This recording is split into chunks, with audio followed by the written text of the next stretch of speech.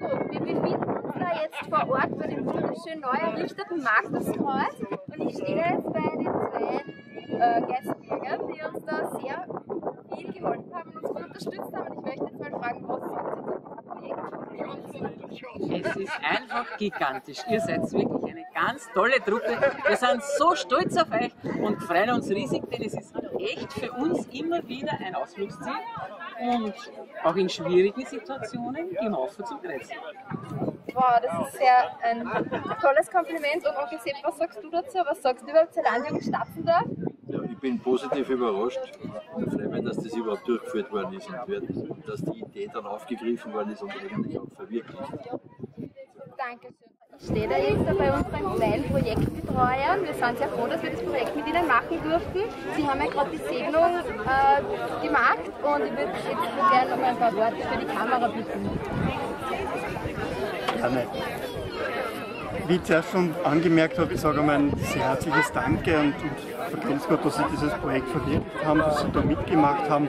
Es war für mich eine große Freude zu sehen, mit welcher Begeisterung und mit welchem Elan die Jugendlichen da ins Werk gegangen sind und hier wirklich ein ganz tolles Werk geschaffen haben. Einen Rast- und Ruheplatz, der auch zur Besinnung bringen kann, der für viele Menschen in unserer Gemeinde jetzt wieder nach Ziel Dankeschön, Herr Leopold. Äh, wir wollen uns auch noch mal bei der Frau Hirschbeck bedanken, weil die hat uns ja die ganze Zeit mit den Pfarrgemeinderäten da verköstigt mit Mehlspeisen und lauter äh, Leckereien. Wollen Sie vielleicht auch noch irgendetwas sagen? das mit dem Verköstigen da, das ist dann, was sagt man beim Modem bedanken, da war ich nicht unbedingt zuständig. Aber, also euch eine Leberausschuss, da steht der Tatort, das ist eigentlich immer Ort, aber siehst du, da kann man super Tatort. Da kann es. Also das freut Danke, die netten Worte. So, ich stehe da jetzt in der, mitten in der Kuchel beim Pauli. Pauli, was sagst du, wie reden eigentlich? Ja, ich bin da sehr zufrieden. Ölspeisen sind da alle sehr herrlich. Ich habe jetzt schon zwei Drittel durchgekostet und bin eigentlich zu 100% begeistert. Also die Erfolgsquote ist ausgezeichnet.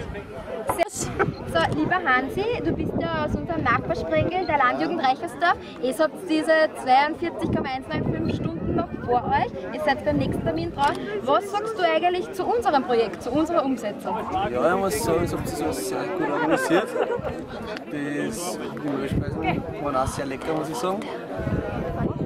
Ja, und ich hoffe, dass wir das genauso gut organisieren und so einen guten Blog machen wie es. Und seid auch gute Vorbereitungsgruppen und wir werden es genauso gut machen. Super, danke Hansi.